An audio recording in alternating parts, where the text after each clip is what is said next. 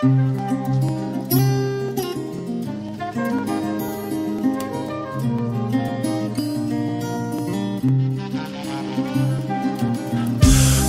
lever inni meg. Hjertet det dunker etter beaten Og jeg har den alltid med hvor hen jeg går.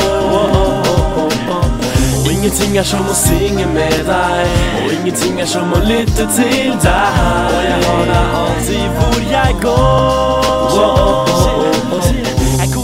går smiler og ser rundt. Solen skinner, yes, det er min tur. Og jeg forlanger blikk, takker musikken for alt den forandret mitt liv.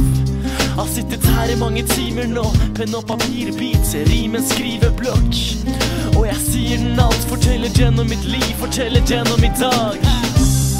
Og den følger med meg hele tiden. Den ligger over meg og følger med på hva jeg sier. Følger med på hva jeg gjør Og kommer aldri og klager. Jeg kan være meg sjøl, yes sir. Jeg er takknemlig, for uten den hadde ingenting vært lett å si. Så føler at jeg skylder den alt. Du er med meg hver gang, hver dag. Musikken lever inni meg. Hjertet det dunker etter beaten Og jeg har den alltid med hvor hen jeg går ingenting er som å synge med deg. Og ingenting er som å lytte til deg. Og jeg har deg alltid hvor jeg går Musikken lever, yeah. Musikken lever inni meg.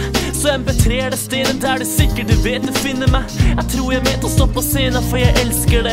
Det er sjelden til å streve føles enklere. For orda kommer brått så lettere på beat og mic. Fra sola våkner opp og vekker meg med blikket sitt. Ser jeg fram til å se på det store bildet. Stole blind på at det skjer med litt tro og vilje. Og tror det vil, jeg er ikke kjent for å tvile Jeg drar ikke hjem hvis jeg glemte å smile. Så jeg smiler, og jeg kan kjenne at det virker Men redd jeg glemmer det og ender opp i sirkel. Med kun rutiner og timeplaner. Ikke bli til en kid uten tid, men vaner. Så gi meg bit og litt tid, så skal jeg klare meg. Gi meg penn og papir, så kan jeg svare deg.